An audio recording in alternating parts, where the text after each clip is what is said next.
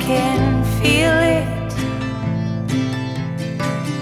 The breeze brings goosebumps to my skin.